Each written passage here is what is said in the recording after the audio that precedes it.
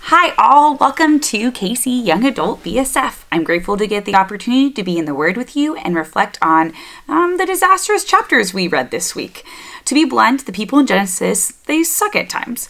But we know that all scripture is God-breathed, 2 Timothy 3:16, and useful for teaching, rebuking, correcting, and training in righteousness, so that the man of God may be thoroughly equipped for every good work. Reading these chapters is almost like watching a reality TV show. You want to love and cheer on the characters, but their terrible choices continue to make it hard to love them. However, before we get started, it's good to remind ourselves that Genesis was not written to glorify and make idols of the patriarchs and matriarchs of our faith. Instead, Genesis was written to show God's big love for his people, he, his continued forgiveness of heinous human sin, and his perfect plan always coming to fruition even when we struggle against His will. Let me pray for us before we get started. Father, we come before you and ask for your presence to be with us as we explore these chapters together. I pray that you would be with me as I speak over your word, that the words you want me to say would be pleasing and glorifying to you. Lord, be with us as we not only examine your scripture, but examine our hearts through these difficult chapters. Amen. Our first division for tonight is Genesis 34, Dinah and the Shechemites. This chapter of scripture is gut wrenching and not for the faint of heart. We meet up with Jacob and his family outside of Shechem. Jacob had not followed Esau to be with his family, but instead gone to a different part of Canaan. We don't know why Jacob made that decision, but we do know that this started these awful events. As we further explore this chapter, it is important to note that God is not mentioned in this chapter. With that being said, let's go ahead and read the first couple verses and dive in. Now, Dinah, the daughter Leah had born to Jacob, went out to visit the women of the land. When Shechem, son of Hamor the Hivite, the ruler of that area, saw her, he took her and violated her. His heart was drawn to Dinah, daughter of Jacob, and he loved the girl and spoke tenderly to her. Genesis 34 1 through 3. As mentioned before, it's pretty heart wrenching. We know that Dinah was about 14 to 15 years old when these events took place. We don't know why she was by herself, but this story makes me sick and sad that not only did this happen in biblical times, but that it happens now. Currently in our culture, we see an increased awareness to the victims of sexual assault and listen to their story. However, for Dinah, that was not the case. We do not hear personally from her, but more we hear from the men around her and how they responded in many different ways. The five men that we're going to talk about are Jacob, Shechem, Hamor, Simeon, and Levi. Let's first talk about Jacob's response. Actually, there's not much to talk about. We learn in verse 5 that Jacob chose to keep quiet about it. Jacob's sons were out with the livestock, so instead of defending his daughter, he chose to not rock the boat and kept quiet about the incident. You might be wondering, just like I am, why Jacob did not respond. We do not get a specific answer, but we can speculate. Maybe Jacob did not respond to Dinah because he was scared of what he would lose. He had just moved to the area and bought a plot of land. He did not have an army of men, though Esau did offer, so he would have relied on his sons to protect his wealth.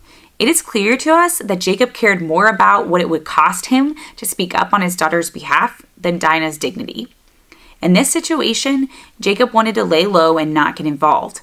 Those that chose to look at the other way or do nothing to keep their power and prosper from the situation are part of the issue that we witness. Because Jacob did not stand up for Dinah, his sons made the choice to respond. But before we talk about their response, let's talk about Shechem and Hamor's response.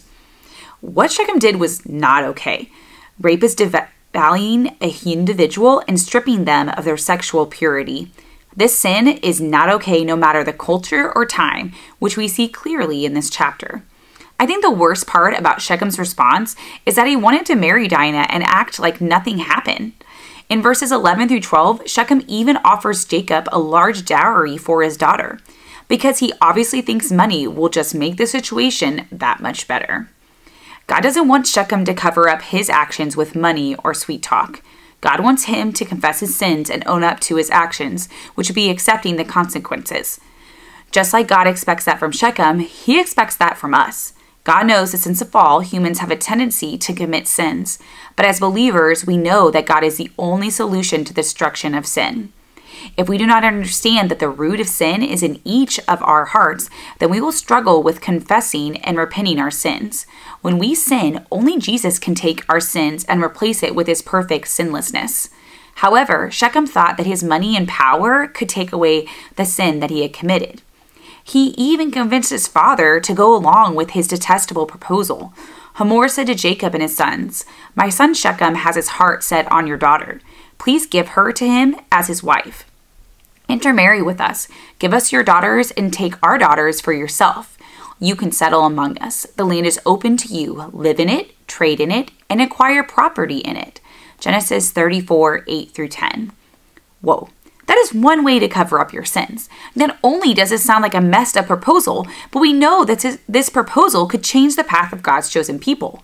If Jacob and his sons choose to take their proposal, they would be assimilating with the Canaanites, and the Israelites would have ceased to exist as God's chosen people.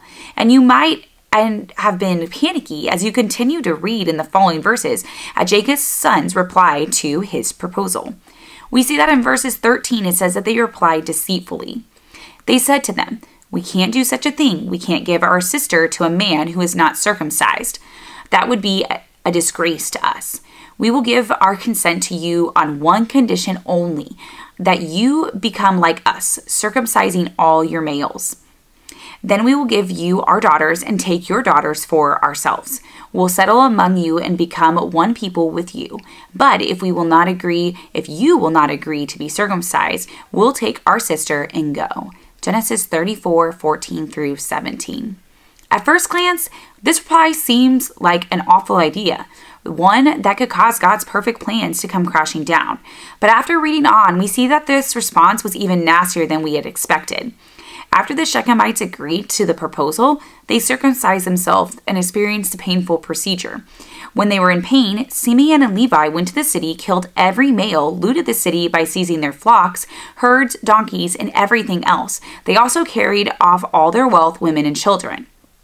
Wow, this story got worse. Shechem's sin was just the worst beginning, but now Simeon and Levi's response may have been a military mastermind, but it was graceful, disgraceful, and disgusting. They used God's covenant with Abraham as a weapon to kill and gain wealth.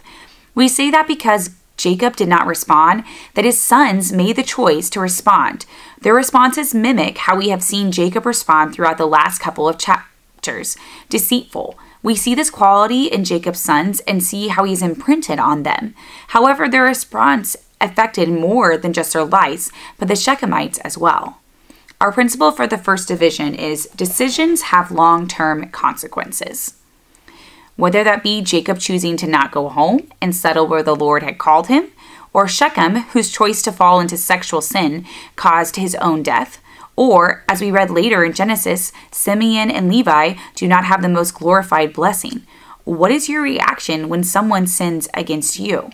We read in Romans 12, 17 through 21 Do not repay anyone evil for evil. Be careful to do what is right in the eyes of everybody. If it is possible, as far as it depends on you, live at peace with everyone. Do not take revenge, my friends, but leave room for God's wrath. For it is written, It is mine to avenge, I will repay, says the Lord. One contrary, if your enemy is hungry, feed him. If he is thirsty, give him something to drink. In doing this, you will heap burning coals on his head. Do not overcome evil by evil, but overcome evil with good. As God's chosen people, Jacob and his sons were called to live lives that were set apart. They were called to show love and compassion to those that had wronged them and their family. As Christ followers, we are called to do the same. This does not dismiss the fact that Shechem's actions toward Dinah were disgraceful and wrong, but it is what the Lord calls us to do to show the kind of love and forgiveness that Jesus showed on the cross. Forgiveness and loving our enemies is hard, heart work. It is not easy and can only be achieved through putting our faith in Jesus Christ. We know that the only hero we have is Jesus. He is the only one that can wash away our sins and create in us a pure heart that yearns to glorify and serve the Lord. He is the one that we should be turning to in the face of a crisis, not our own plans or ideas. He is the one that will protect us even we we have messed up big time. Which is just what he did for Jacob and his family as we move on to our next division. Genesis 35 1 through 15, Jacob goes home. Then God said to Jacob, Go up to Bethel and settle there, and build an altar there to God, who appeared to you when you were fleeing from your brother Esau. So Jacob said to his household and to all who were with him, Get rid of the foreign gods you have with you, and purify yourselves and change your clothes. Then come, let us go up to Bethel, where I will build an altar to God, who answered me in the day of my distress, and who has been with me wherever I have gone. Genesis 35 1 through 3. Chapter 35 has already begun very differently than chapter 34. First off, God is mentioned in the chapter, and secondly, Jacob seems to take charge of his family. We saw in Genesis 34 that Jacob was more of a statue in the corner than an important leader in his family. We're not sure why Jacob acted this way, but we saw the ramifications of his lack of response. So instead of being a statue, Jacob decided to be a strong man of God that we have started to see. Part of that was following God's command to leave Shechem and head to Bethel. Barnhouse says, the only cure for worldliness is to separate from it. Jacob had to leave Shechem and go to Bethel. There had to be a departure from one and a new direction and destination set. There was a new place for Jacob and his family to dwell. Along with departing Shechem and pulling his family away from the sin and disaster that had happened, Jacob also cleaned up his household's act. First, Jacob commanded them to get rid of their foreign gods. At this point, we can assume that the gods are from Laban's household, most likely the ones that Rachel stole from her father. We know that Jacob's children would have been inclined to have these foreign gods because their mother had them. However, when Jacob chose to stand up in his household, his family followed. Second, Jacob told his household to purify themselves and change their clothes. This is an important step because it was meant literally and as a symbol of spiritual change.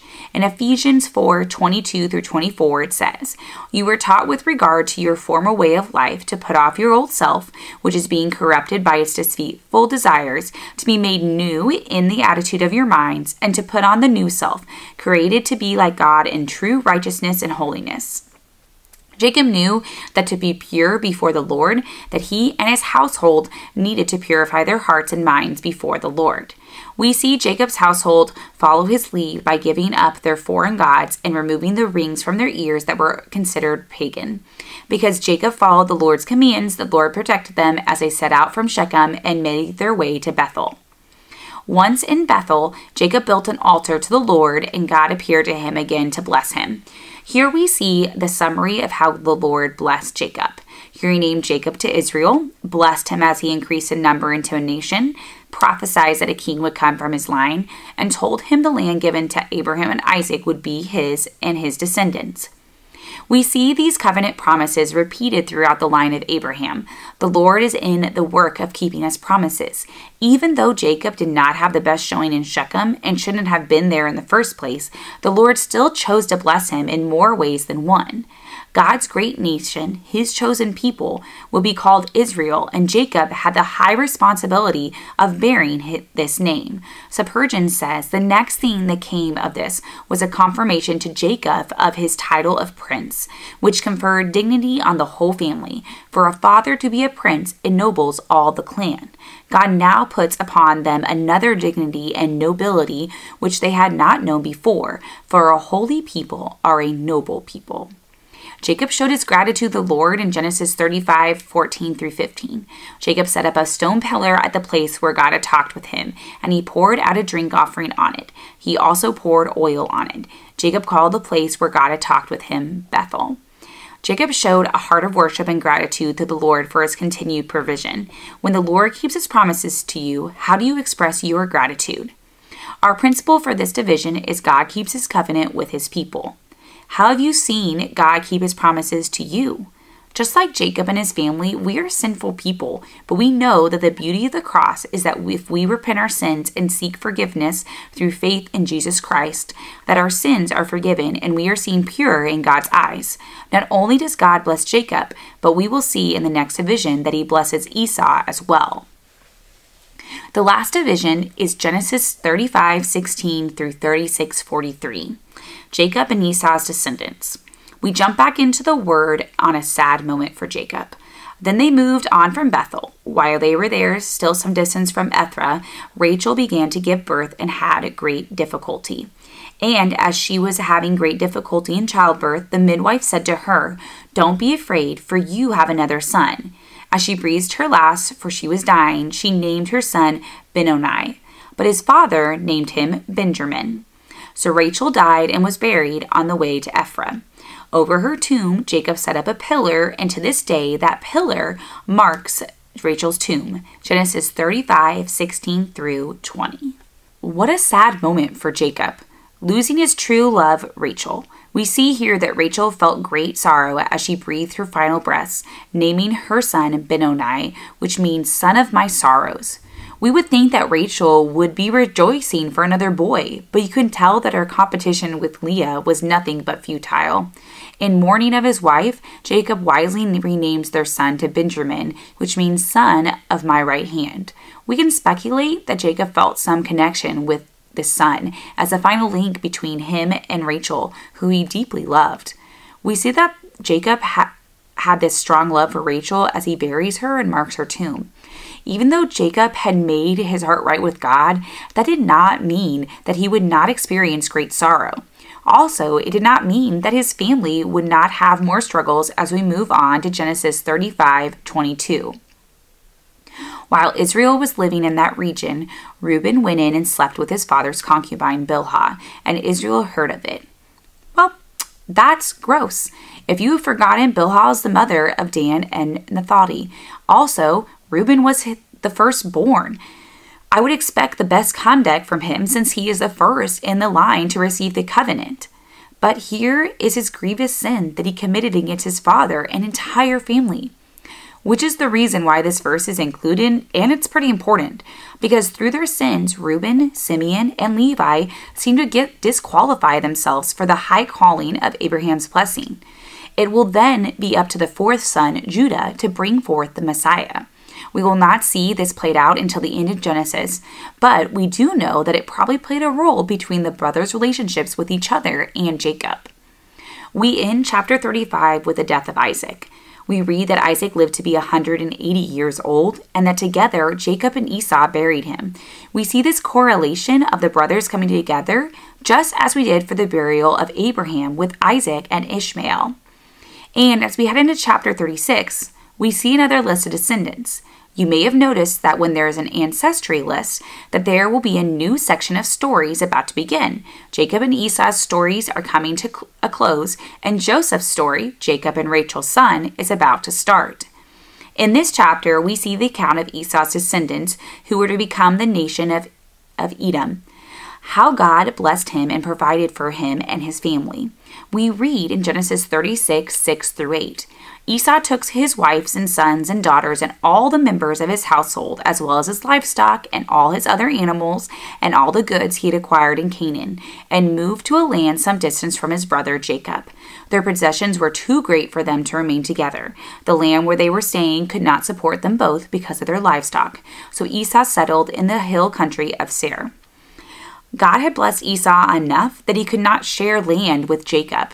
From Esau pleading with his father to give him a better blessing, we see God providing even though Esau did not follow his ways. We have seen God bless Ishmael and Esau even though they weren't God's chosen people and did not choose to follow him. Other than seeing how God provided for Esau, you may be wondering why would the author include this chapter in Genesis? Why might this be important to the Israelites? Steven J. Cole from Bible.org sums it up well. Moses was writing to people who were about to conquer the land of Canaan. The Edomites, Esau's descendants, lived on the border of that land. When Israel had sought to pass over the land en route to Canaan, the Edomite king refused, even though Moses promised to pay for any excuse me, any food or water they consumed. That's in Numbers 20, 14 through 21. Perhaps once Israel was established in this land, someone would say, Let's teach those Edomites a lesson. But God commanded Israel not to provoke Edom and said that he would not give Israel any of their land. That's in Deuteronomy 2 2 through 5. So Israel needed to know who these people were so that they would treat them as the Lord had commanded. Reading this section as an Israelite, they would see the importance of not bothering the Edomites.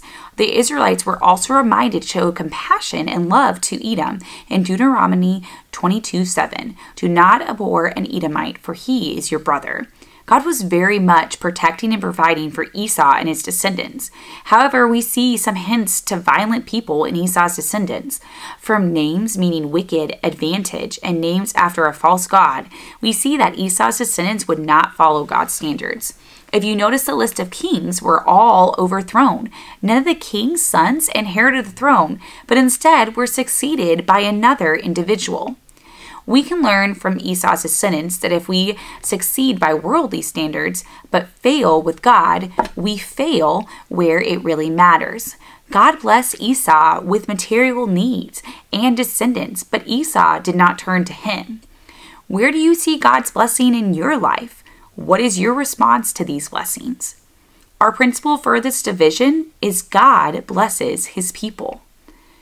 As you walk through Esau's descendants, I hope you think about the many blessings that God has blessed you with and how you will act on them. While we're still on earth, we have a choice to wait patiently for God to fulfill his promises to us or to choose to prosper in the world and pursue secular success. Like we discussed before, if we succeed by worldly standards but fail with God, we have failed where it really matters. Whether we fail or succeed by worldly standards, if we succeed with God, we will have true and lasting success. What a wild ride.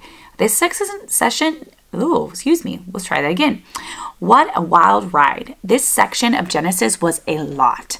I hope that you will see the majesty of the Lord throughout these chapters and be able to rest in his peace as you go throughout your week. Let me pray for us. Father, thank you for the many blessings. Lord, we thank you for your word and cautions and encouragements that we find there. I pray that we would rest in your word this week, Lord, and that we would think about the many blessings that you have surrounded us with. Lord, please keep us safe and healthy and bring us back here next week. Amen. Thank you for joining me and tune in next week as Connor, Connor talks about Joseph's dream and we start to round out the last 13 chapters of Genesis.